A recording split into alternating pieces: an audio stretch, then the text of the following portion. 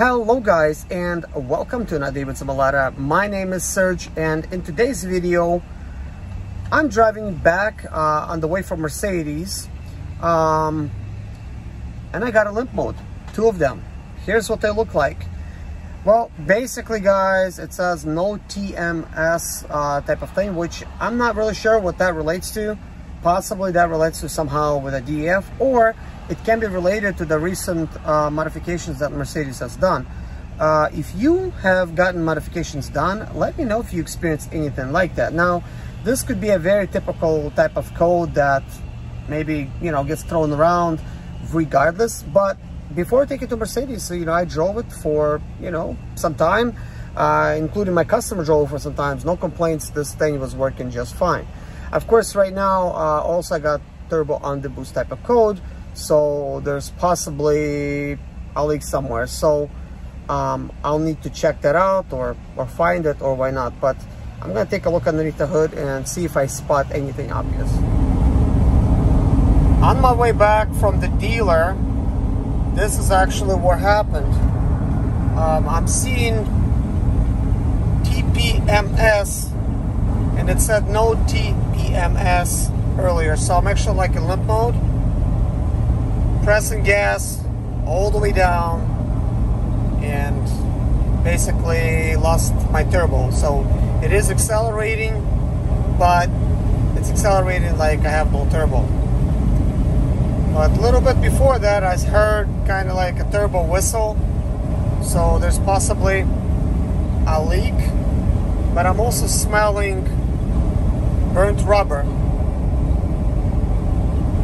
So I'm not really sure what's all that about? If this is my vehicle smelling, and why would it be smelling like burnt rubber? Can you smell it, Kevin? Yes. Yeah, it smells like burnt rubber, so hopefully my van's not gonna catch on fire. This is gonna be ridiculous if it does.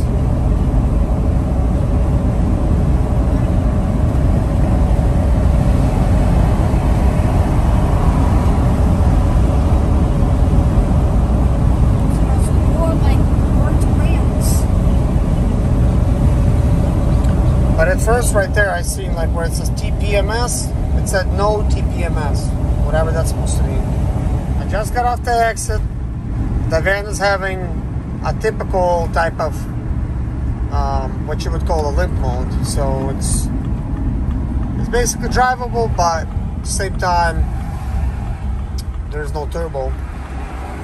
So I'm not sure if this is related somehow to the modifications that they done and it's causing issues or I might have a boost leak somewhere. So we will see. I am pulled over at a QT. There's my wife right there. She's coming in with a check engine scanner. I'm gonna scan my vehicle and see so guys, this is the code that I'm getting. Kind of interesting. P2610 pending. Timer performance. So ECM slash PCM internal engine off. Timer performance. That's weird. Never seen it. And this is, uh, of course, a code that I'm very familiar with. P0299 pending. So obviously we don't have any check engine light on just yet, but we are experiencing a problem. Which Guys, is now that I'm parked and I know what the codes are, uh, here's what I'm gonna do. First, we're gonna rev it. As you can see, it will not go above 3000 RPM. So now I'm gonna delete the codes. Notice cleared. Again but will it start? It has started. Now, I don't see that TPMS type of thing. Um, I'm very new to the DEF type of vehicles, and I'm not sure if this is somehow related to the DEF fluid because, you know, since I bought it, I haven't really put on any miles. So immediately I set up an appointment with Mercedes to get it in for service. That being said, I really don't even know how much DEF fluid is in there, so looks like I'll have to buy some and add some before I actually have any issues with that. We obviously don't want that to happen. But I guess let's see how much right, it revs. So let's start. So it revs pretty good.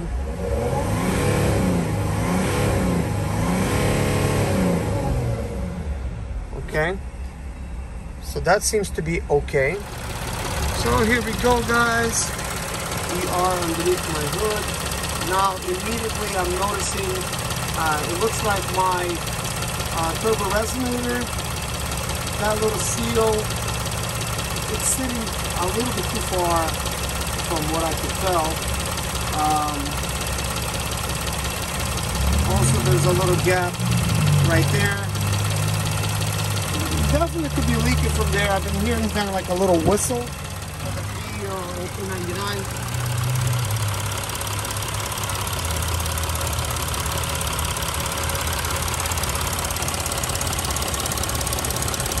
sometimes that seal towards uh, the back right there where it plugs into the turbo and sucking air in uh, could actually be blown and that actually also will create a, a turbo uh, lip So, but surprisingly that it actually even throws it because technically it's sucking air uh, from here into there. Once it goes to the turbo, it goes, you know, like around and then it comes back and then, you know, it goes into the engine from the bottom. But here's the way the engine sounds. Looks there is uh, a leak of sorts over here on this side. Now, this is not something I took a look at. Maybe this was leaking for a while, but this wasn't like that when I actually disassembled the engine. So there is some kind of leak.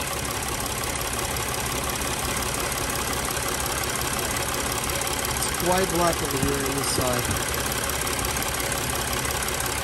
Anyways, guys, the code has been deleted. I'm gonna start driving home and we'll see how fast the code triggers. I am driving and there's a whistle. Actually, I used to not hear that whistle. Um, let's see, I'll have to drive a little bit slower to actually hear the whistle. It almost sounds like, like a, like right there.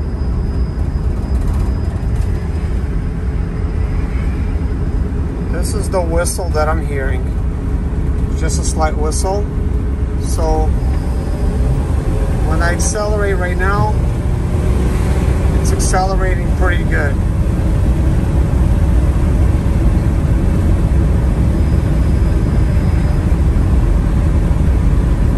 But apparently there's some kind of leak, I guess, since I'm hearing that whistle. This is why we got a limp mode. Guys, just been driving normally for the past, I'd say, five minutes. Really hasn't been that long, and uh, and now this is where it's at. It's limp mode again. Um, wasn't driving it fast. Wasn't doing anything. Just kind of going along with the speed limit. And uh, yeah, limp mode. So I wonder which one of those limp modes I'm gonna have. I'll have to scan it again to see.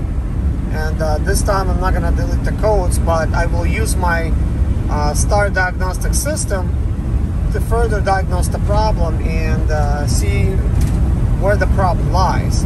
Is it with the, you know, with the turbo, uh, boost leak, or possibly something that Mercedes did to my computer by doing all those programs that they did that are probably untested and many people that's to have this work done do not even own any uh, scanning device uh, to scan your own computer. So I highly recommend that you get one. Um, I'd say start off with the iCarsoft MB2 uh, there's some other ones on the market out there um, you know that are good but something like an iCarsoft MB2. It's simple to use and it's a Mercedes specific type of software, so you'll be able to actually uh, diagnose your own vehicle somewhat proper way. Uh, whether it's engine or transmission related or ABS systems, uh, you'll be able to, you know, do a lot of those things right there. So, anyways, guys, this is going to be the end of the video because it is getting late and I'm gonna take a further look into it and make another video okay thanks for watching guys bye bye